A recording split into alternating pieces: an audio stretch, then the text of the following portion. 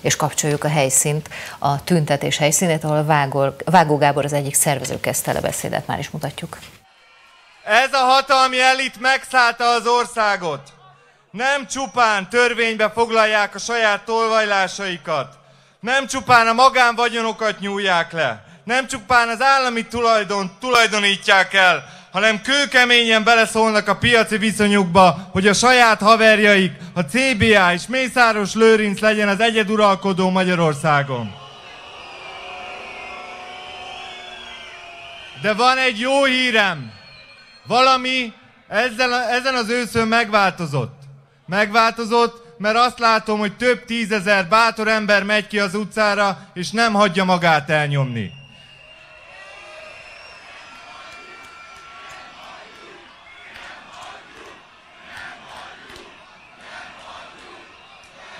Valami más is változott, mert úgy érzem, hogy elértünk már dolgokat. Például Szentgyörgyvölgyi Péter, a belváros polgármestere visszaadta az áron alul vásárolt lakását a kerületnek. A többi csak most jön. Tisztelt Vida Édikó, kérjük vissza a tisztességes adózásba vetett hitünket. Mészáros Lőrinc, kérjük vissza a földeket. Lázár János, kérjük vissza a trafikokat. Selmeci Gabriella, kérjük vissza a magánnyugdíjunkat. Sorbán Viktor, kérjük vissza az országunkat. Most pedig hallgassátok meg Farkas Ottót, aki a szónok versenyenre jelentkezett. Ő öt évig élt Angliában, de úgy gondolta, hogy most hazajön, mert itthon kell tennie az országért.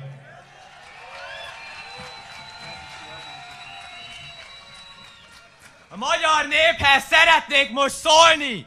Minden emberhez, aki itt van, aki otthon, a tévén, az interneten követi a tüntetést, és mindenkihez, aki csak lélekben van most itt velünk, mert túlórázik, vagy nem át módjában eljönni. Az az ország elszegényedése nem véletlen, és egyáltalán nem egy nyugati összeesküvés eredménye. Módszeres kizsákmányolás folyik. Mindig egy adott réteg van a célkeresztben, míg a rendszer egy másikat bűnbaknak kiáltva egymásnak ugraszt.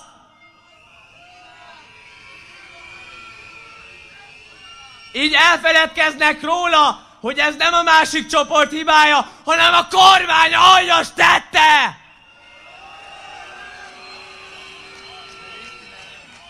A kormány az általuk uralt médiák segítségével módszeresen eltusolja az ilyen kérdéseket.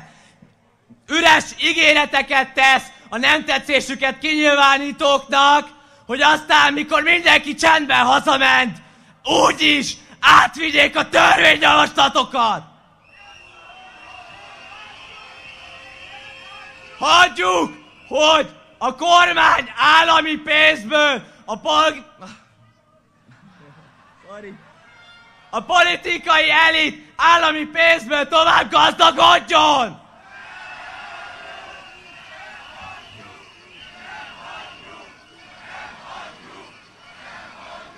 Hagyjuk, hogy a mi pénzünkből, ami százféle adó módján kicsalnak tőlünk, kiveszik a gyerekek szájából, amiért a szülők csak a használt vagy rossz minőségű ruhát tudják megvenni. Ők stadionokat, tereket és ego piramisokat építsenek! Tisztelet azoknak a politikusoknak, szakembereknek, akik kiállnak ez ellen a rendszer ellen, és nem nyomják meg az igen gombot. Én is magyar vagyok, én is ember vagyok. Nem szeretném életem hátralévő részét egy olyan országban leélni, ahol mindenki inkább a homokba dugja a fejét, vagy a másik irányba néz, amikor azt látja, hogy ez meg az eltesz 100-200 millió forintot. Nem adhatjuk! Ez a mi országunk, a mi pénzünk! Ebben az országban, Magyarországon akarok élni. Mi mind itt akarunk élni. Mi azt szeretnénk, hogy Magyarország legyen az a jó hely, ahol érdemes élni, dolgozni, gyarapodni és gyerekeket szülni. Esetleg nyugdíjba menni. Az erkölcsi romlás olyan szintjére jutott ez az ország, ami ha nem változtatunk, végleg elbukik, és a gazdaságot a háttérből irányító oligarchák végleg nyomorba döntik ezt az országot. Azt a kétharmadot, aki rájuk szavazott, és mindenki mást is.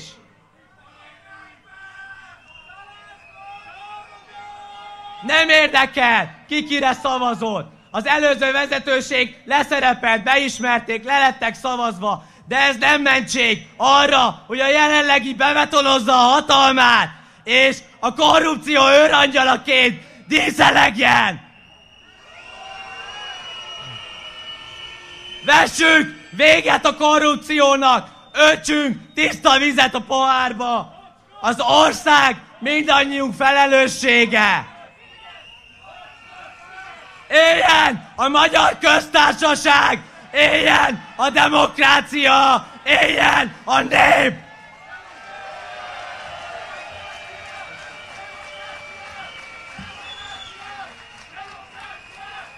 Volna pár kérdésem. Demokráciát, igen. De mielőtt még demokráciát építünk, föltennék pár kérdést. Miért nem pont már le végre Vida Ildikó, miközben az áfacsalások miatt több ezer tisztességes ember megy tönkre? Honnan van Lázár fiának budai villája, miközben a legtöbb családnak csak egy odaútra jut repülőjegyre pénz, amit a gyerekeknek adni tudnak? Hogyan nőtt havi 60 millióval Mészáros Lőrinc bankszámlája, amikor legtöbben milliók csupán 60 ezerből élnek havonta? Miként, miként adott el Rogán kerülete lakást áron alul bűnözők feleségének, mikor másfél millió ember küzd lakhatási szegénységgel? Azt vágják cinikusan az arcunkba, hogy nekik mindent lehet. Most mutassuk meg, hogy megállt tudunk parancsolni. Megállt az önkénynek, megállt a korrupciónak. És most pedig szólítom a színpadra Szabó Sándort, aki egyike azoknak, akitől lenyúlták a 3000 milliárd forintunkat.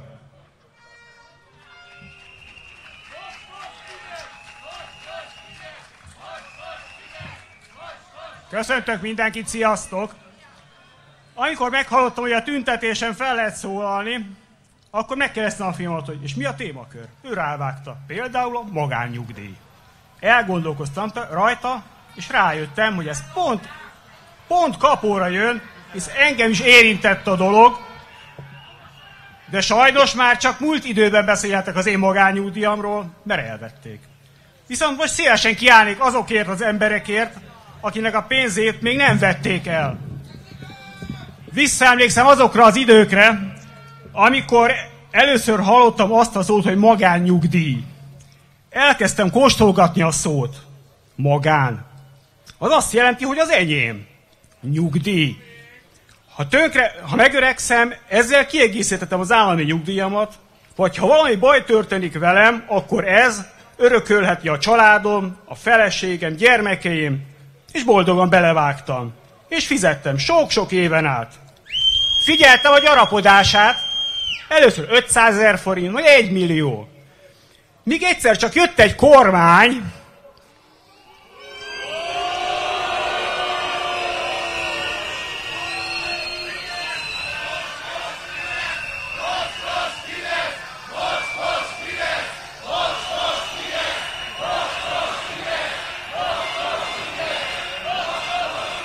és megfegyegetett. Ha ezt nem adom nekik oda, még az állami nyugdíjamat sem fogom megkapni akkor én odaadtam. Illetve nem is kellett odaadnom, mert elvették maguktól, és ki, tudta, hogy, ki tudja, az én egymillió forintom kinek a zsebében kötött ki.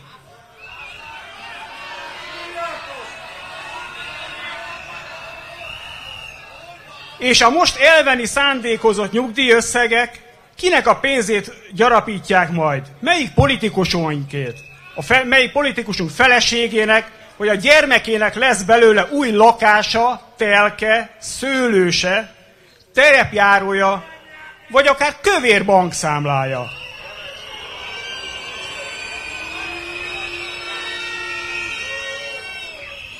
Ha ezt őseink megtudnák, ami a hazánkban történik, forognának a sírjukba.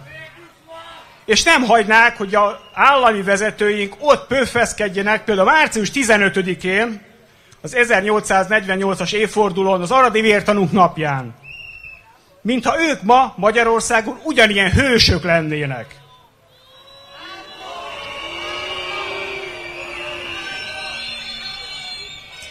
A nagyjaink életüket adták a hazáért, nagy politikusaink, Kossuth, Széchenyi és még sokan mások éves jövedelmük egy részét ajánlották föl a haza jobbá tételére.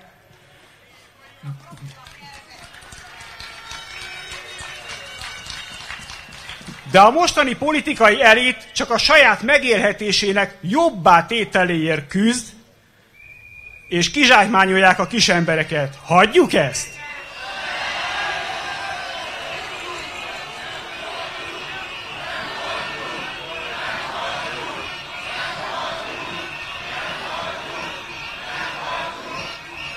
Küzdjünk, és válasszunk olyan politikusokat, akik régi nagyjaink szellemét követve tudjá, tovább tudják vinni az ő hitvallásukat. Has, alkos, gyarapíts, és a haza fényre derül.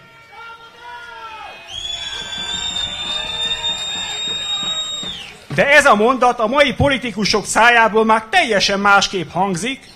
Csalok, lopok, hazudok, és az arcom mosolyra derül.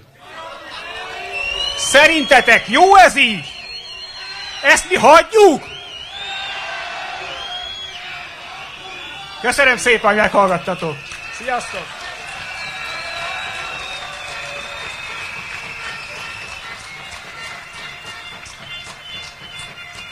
Van egy újabb jó hírem. Ha fokozzuk a nyomást, kim vagyunk az utcákon és aktivitást fejtünk ki, akkor el tudjuk távolítani Vida Ildikót. Már csak az a kérdés, hogy mikor.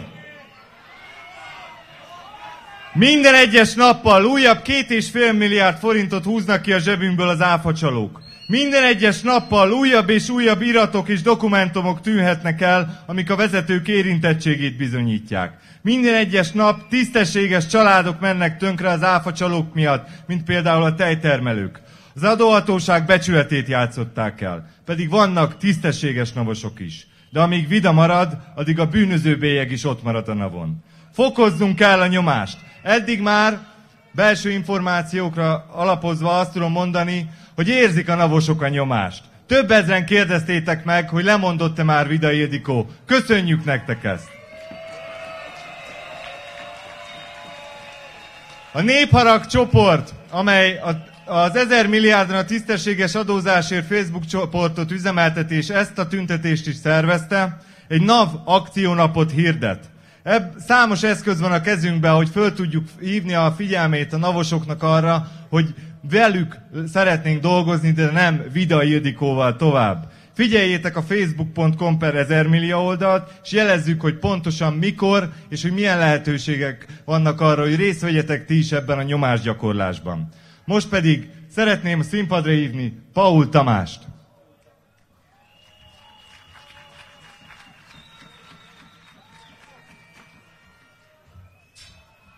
Jó estét kívánok, szerbusztok!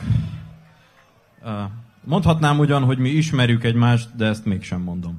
Mondhatnám azt is, hogy ti ismertek engem, de mégsem mondom, úgyhogy engedjétek meg, hogy egy pár szóban bemutatkozzak nektek. Tamás vagyok, akinek nincs egy ingatlana sem a Pasa Parkban. És másoktól ellentétben én pontosan tudom, hogy hány négyzetméteres a lakásom. Tamás vagyok, és azt is pontosan tudom, hogy azt mennyi kölcsön terheli még. Az a Tamás, aki még életében nem járt sem Dubajban, sem Új-Zélandon, és a Rolling Stones nem tartozik a kedvenc zenekaraim közé. Én az a Tamás vagyok, akinek nincsenek szőlőbirtokai Tokajban, sem másoktól elvett földjeim Kishantoson, de még felcsút környékén sem. És sem mostanában, sem régebben nem volt 167 millióért, vagy ki tudja mennyiért vásárolt luxus ingatlanom Dunakeszin. Nem, nem járok vadászni sem nyúlra, sem fácára, sem más élőlényre. Sem Magyarországon, sem Szlovákiában. Tamás vagyok, akinek nincsenek sem belföldi, sem külföldi útjai, amire a ti pénzeteket, a ti közpénzeteket költeném el, amit a még élő, szabad sajtó számonkérésének kínossága miatt inkább saját zsebből tennék vissza a közös kasszába, csak hogy végre kus legyen.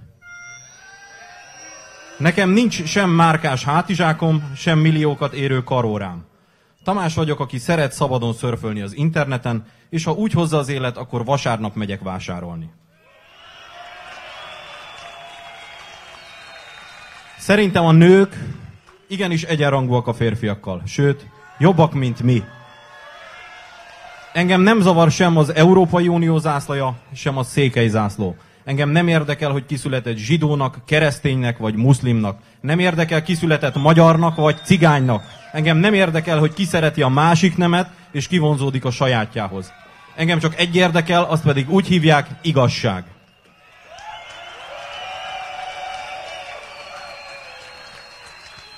Tamás vagyok, és engem érdekel, hány honfitársam fogja még elveszíteni a lakását a kormány és a bankok között létrejött paktum népsanyargató egyezmény által.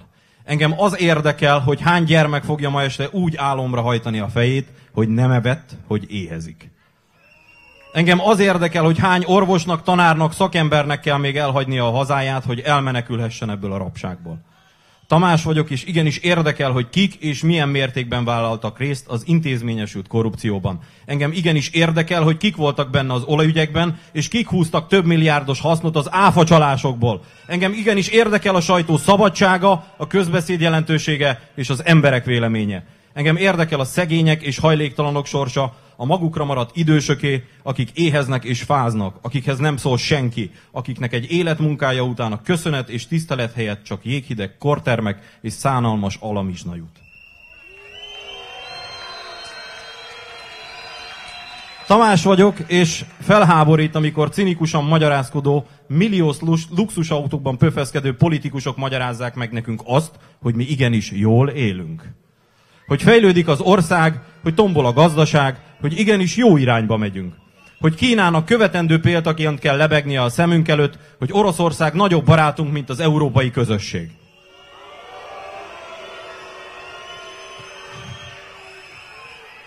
Tamás vagyok, és érdekel. Tudni akarom az igazságot. Tudni akarom, hogy olyan törvényeink vannak, vagy lesznek, amelyek nem biztosítanak elsőbséget a politikusoknak és a hozzájuk kapcsolódó családi vagy gazdasági érdekköröknek. Tudni akarom, hogy a jog biztosítja a szabadságot és az egyenlőséget. Tudni akarom, hogy azok, akik ebben a nagy házban ott lent engem is képviselnek, azok nem adnak el apró pénzért sem engem, sem hazámat. Tudni akarom, hogy a gyermekemnek lesz jövője itthon, és nem kell elhagyni a szülőföldjét. Szeretném megélni, hogy Magyarországon nem csak az a talpalatnyi föld lehet a miénk, amelyen most állunk. Hogy itt nem csak a miniszterelnöknek és a családjának jut több száz hektár, hanem egy egyszerű juhásznak is.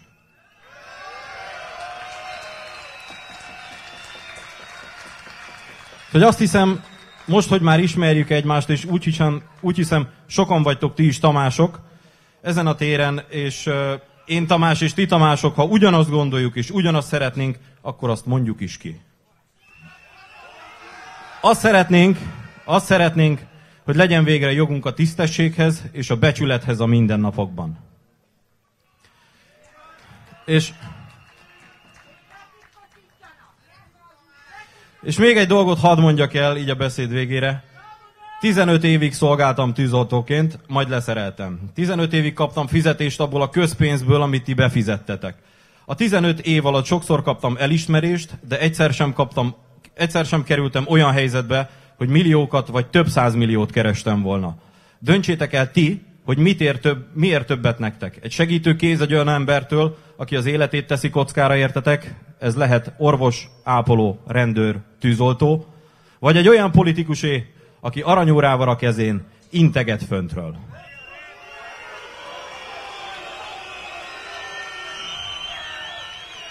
Éppen ezért, éppen ezért én Tamás támogatom, és benneteket is arra kérlek, hogy támogassátok a Korrupció ellenes szövetség munkáját. Köszönöm, hogy meghallgattatok, Tamás voltam.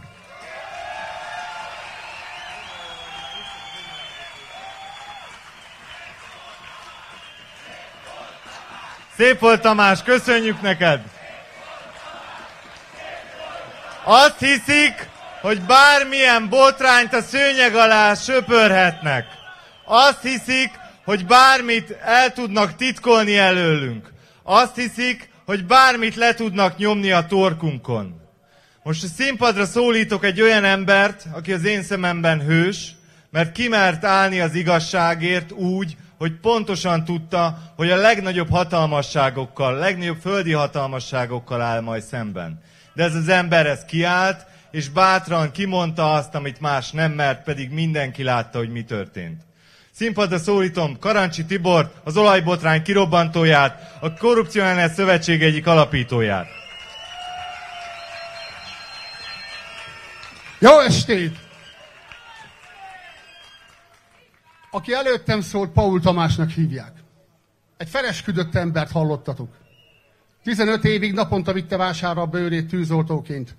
Minden tiszteletünk legyen a dövé is, és a sorstársai is.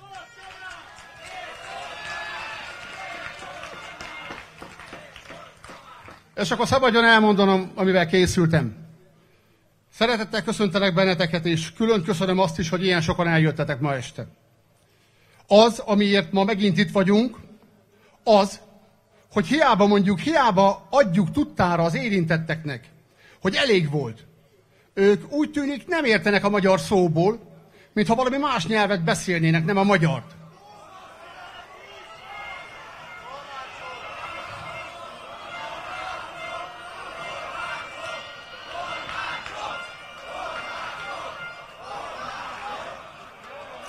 Kedves barátaim! A korrupció ellenes szövetség megalakulása folyamatban van, de a munka már elkezdődött. Szeretnélek tájékoztatni benneteket, hogy nap mint nap érkeznek hozzánk korrupciógyanús ügyek, amelyeknek feldolgozását megkezdtük. Bízunk abban, hogy hamarosan konkrét ügyekről is beszámolhatunk nektek, és ezek nyomán majd a szunnyadó magyar igazságszolgáltatás is talán felébred. Talán lesznek még olyanok, akik az esőjüket híven teljesítik, és továbbra is benneteket és az igazságot fogják szolgálni.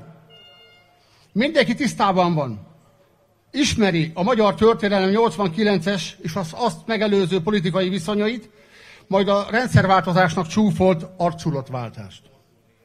Miért mondom ezt? Mert nem volt rendszerváltás. Ezt mondjuk ki nyíltan és egyenesen. Láttatok valakit, aki a kommunista Magyarországon vállalt szerepéért elítéltek volna? Láttatok valakit, aki TSZ elnökből lett vállalattulajdonos, és akitől megkérdezte volna bárki, hogy ugyan miből telt rá? Láttatok egy embert is, aki az ország vagyonának köznyelven privatizációnak elherdálásáért felelősségre mondtak volna? Ugye, hogy nem? Én azt gondolom, hogy Magyarország földje kiváló, ahol egyaránt képes megteremni a legjobb búza, a legszebb gyümölcs, de a legkárosabb gyomnövény is. Azt mindenki tudja, hogy a gyomot írtani kell, mert elborítja a kertet, és oda lesz a termés. A gyomot úgy kell írtani, hogy tövestől tépjük ki, nem csak egy-két levelet leszedünk róla. Tehát mondjuk ki, mire is van szükség. Szükség van a múlt bűneinek feltárására és a bűnösök leleplezésére. Szükség van a felelősségre vonásra, ahogyan szükség van az ellopott javak visszaszolgáltatására is. Sajnos azt gondolom, hogy akik ott bent ülnek, azok a rendszerváltás haszonlesői. Ha meg nem, akkor támogassák a munkánkat. És éppen ezért felszólítom a Magyarország gyűlés összes képviselőjét, hogy segítsék elő végre Magyarországon a rendszerváltást, és aktívan vegyenek részt benne. Ne gátolják, hanem segítség elő a megtisztulást. Az első gazdasági világválság 1929-ben volt, ezt mindenki tudja. Éppen 85 éve. Hadd kérdezzek valamit. Mennyire érint ez most benneteket? Mennyire aktuális ez? Vannak alapvető kérdések is, amelyek miatt emberek, rendőrök haltak meg. hogy a hatalom szerint öngyilkosság, szerintem meg kitervelt gyilkosság történt, abban most nem menjünk bele. Emlékeztek még az olajügyekre, ugye? Tudjátok, mi lesz 2085-ben? Akkor fog lejárni a titkosítása az olajmappáknak.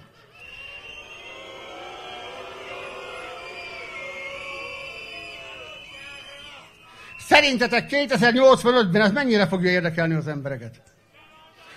Az olajügyekről feltehetően azt is tudjátok, hogy ez volt az első olyan több milliárdos, ezer milliárdos, több ezer milliárdos csalás Magyarországon, amire nem sikerült fényderíteni. És azért nem sikerült, mert 85 évre titkosították az aktákat.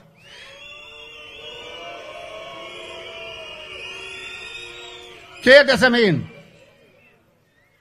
hogy hazánknak a legnagyobb kárt okozó bűncselekményekben résztvevő emberek nevei, szerepük, miért titok a közvélemény előtt? Mi indokolja azt, hogy 85 évre államilag titkosítanak egy bűncselekményt? Miféle bűnöldözési vagy nemzetbiztonsági érdek fűződik ehhez? De a legfőbb kérdés mégis az, hogy az eset óta miért nem jutott eszébe egyetlen belügyminiszternek, akit titokgazdának hívunk, sem, hogy feloldja a titkosítást. Sejtjetek, ugye? Én tudom. Éppen ezért arra gondoltam, hogyha már ilyen sokan összejöttünk, kérjük meg a belügyminiszter urat, hogy oldja fel a titkosítást, és nyíljanak meg végre az olajakták. Derüljön ki végre az igazság, mert úgy érezzük, azt látjuk, hogy az akkor indult gyomosodás lassan minden talpalatnyi földet elborít. Kérjük meg rá? Akarjátok? Derüljön ki végre az igazság? Akkor útjára fogunk indítani egy petíciót, és azt kérjük, hogy támogassátok a célt az aláírásotokkal. Ugye szeretnétek tudni az igazságot? Én is tudni szeretném. Pedig én hat hétig voltam az olajbizottságnak az egyik szakértője. Tudni akarom, hogy barátomat Kuzma Mihály alezredes kigyilkolta meg. Tudni akarom, hogy a többi rendőr megölésére kiadott utasítást. És látni akarom, hogy ezek az emberek bűnhődnek. A korrupció ellenes szövetség nem csak a jelenlegi ügyekre koncentrál. Látnotok kell, hogy vannak olyan ügyek is, amelyek eredetben a múltban gyökeredzik, de a mai napig tartanak, és az olajügyek csak egy apró szelete ennek a hatalmas tortának. És egy bölcsesség a végére. Mit ér a harag hatalom nélkül? Sziasztok!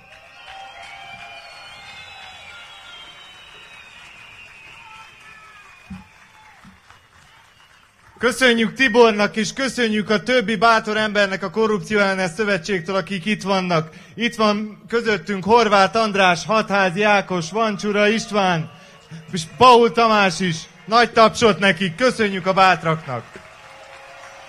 Példát mutattak nekünk, nem csak tisztességből és bátorságból, hanem abból is, hogy szervezkedni kell. Egyenként kevesek vagyunk, de hogyha szervezkedünk, és együtt koordináltan lépünk előre, akkor nagyon sok mindent el tudunk kérni.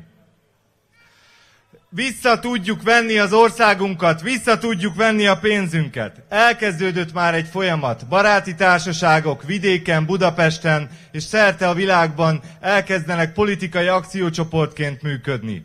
Most lehetőség van arra, hogy változtassunk. Ez a változás bennünk van.